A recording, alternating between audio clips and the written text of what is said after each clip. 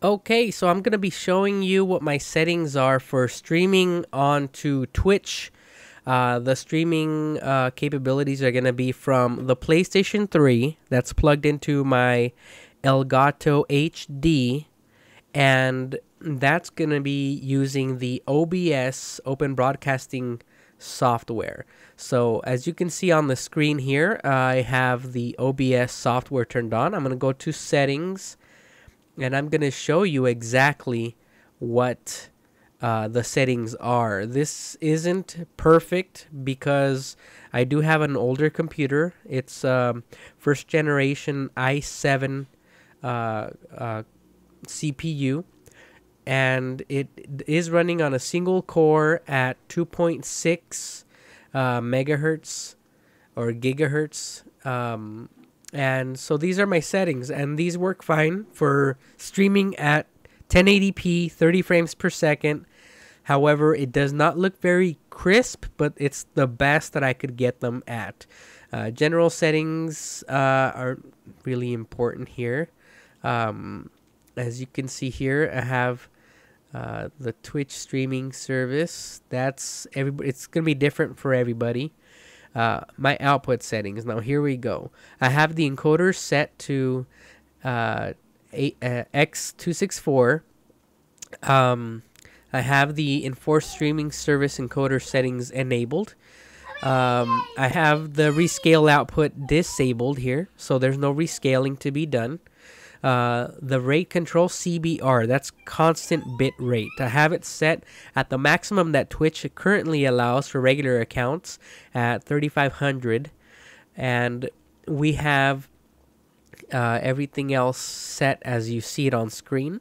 The CPU usage, I'm assuming a lot of people will be able to use these better um, speeds down here. My CPU processor is not the fastest, it's not the most efficient, it's not not the newest, so I have it set to super fast right now, and that's the best I have uh, as far as performance goes. Um, so it gives me the best bang for my buck. Uh, a friend a friend of mine that I'm doing this video for, Rick, he'll probably have somewhere down here. Um, ha- his computer will be able to handle somewhere over here uh, because he does have a much much newer and better computer. Um, as far as the audio goes, I have different mic inputs set up for it. Uh, the video, here's another spot where you want to make sure you have it set. Uh, my base canvas is set to 1080p, which is the 1920 by 1080 resolution. Uh, output, it's not scaled because it, I have it set so that it doesn't um, have to take that extra step in processing of rescaling the image. So there's no extra processing done there. It's still at the same resolution, 1920 by 1080. Um, the downscale filter, I have it set to the highest quality that I can have, which is uh, the Lanczos sharpen scaling 32 samples. That's that give me a little bit better uh, quality than the other values um, and the common first person uh, values. Um, or I'm, I'm sorry, I said first person. I meant frames per second. The common frame per second values are set to 30, uh, which is uh, the best I could do with the current configuration I have. Now, my configuration for my desktop right now is probably very similar to a lot of laptops out there. So this will probably work for people that are using laptops to stream off of an Elgato to OBS and onto Twitch. Uh, everything else, I think, um, let's see. Oh yeah, this is, this is important. The the advanced uh, settings here. Uh, process priority, I have mine set to high. That way, uh, the OBS uh, has the highest priority as far as processing goes with my computer. Rendering, I have an NVIDIA card, uh, GTX 960. And so I have it set to my render being the Direct 3D 11. So uh, color format NV12, which I believe is the standard uh, or default set on here. The YUV color space, I bumped it up from 601 to 709. And the YUV color range, I set it to full because I noticed that there really wasn't very much of a performance difference uh, when bumping this up, and it gave me slightly better colors as far as the image quality goes.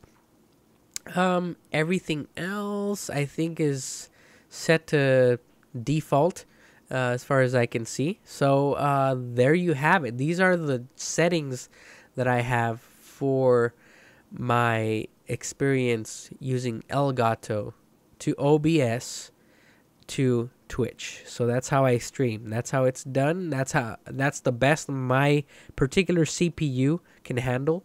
Again, the CPU I have is a 2.6 gigahertz first generation i7 uh, with uh, 12 gigabytes of RAM, and uh, I have noticed when I'm using this uh, while streaming and having one internet window up with Chrome, it does go up to 86% uh, of CPU usage. So it is something that's going to have to